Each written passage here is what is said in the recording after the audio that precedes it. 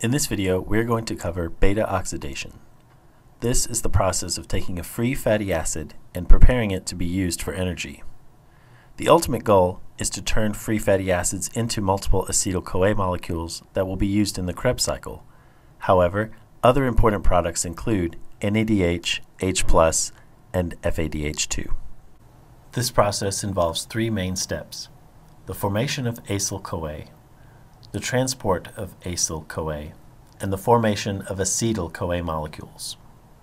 The first step is taking a free fatty acid and making it usable within the beta oxidation system. This means adding coenzyme A to the free fatty acid, making it acyl-CoA.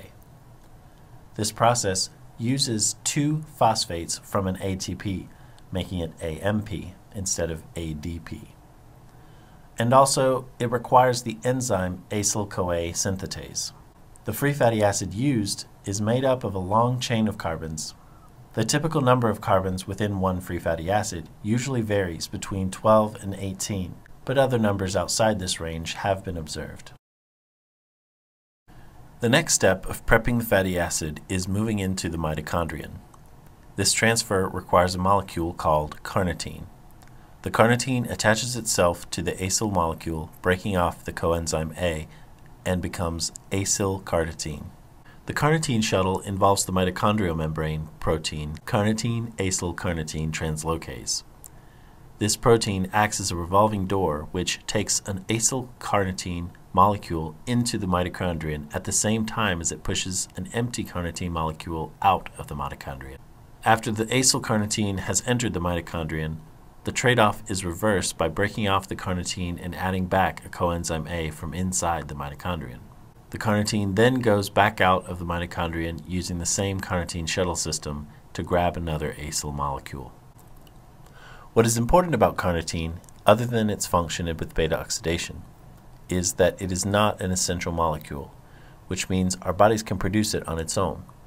Many supplements boast about containing this in their formula, but there is insufficient evidence to show that intake of this nutrient, which we can already produce on our own, is helpful in fat metabolism. This next process is the actual oxidation process with the previously mentioned steps considered to be prepping steps. This oxidation covers four reactions that recur again and again for each pair of carbons that break off the acyl-CoA to become acetyl-CoA. First reaction changes the acyl-CoA into trans-delta 2 enoyl-CoA, which produces an FADH2. The enzyme for this is, you guessed it, acyl-CoA dehydrogenase. So after the first reaction of dehydration, the next reaction is a hydration, adding an H2O molecule to the delta 2 trans-enoyl-CoA, making it 3-hydroxyacyl-CoA. The enzyme for this is enoyl-CoA hydratase. The third reaction, using the enzyme 3-hydroxyacyl-CoA dehydrogenase, performs the familiar step of creating NADH and H+, which also creates the product 3-ketoacyl-CoA. The final step is the actual cleaving of an acetyl-CoA from the main chain of acyl-CoA. This process uses another coenzyme A with the help of the enzyme thiolase. As mentioned before, these four steps keep going until the last split of a four-carbon acyl-CoA. When the four carbons split into two carbon molecules each, these are both acetyl-CoA molecules. So let's recap on the math and do so with an example of a 14-carbon chain fatty acid. For each pair of carbons, the end result is one acetyl-CoA. That makes seven acetyl-CoA molecules. This does not mean that there are seven FADH2 molecules nor seven NADH and H molecules. The reactions that create these hydrogen carriers do not occur for the last pair of carbons because as mentioned, they automatically become acetyl-CoA during the split of a 4-carbon chain of acyl-CoA.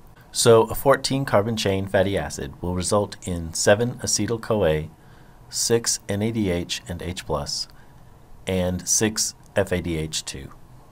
What you will need to know for this video is the energy required to make an acyl-CoA molecule from a free fatty acid, the importance and the role of carnitine, the four steps of the formal oxidation process along with all its products, and how many of each products produced when given the carbon chain length.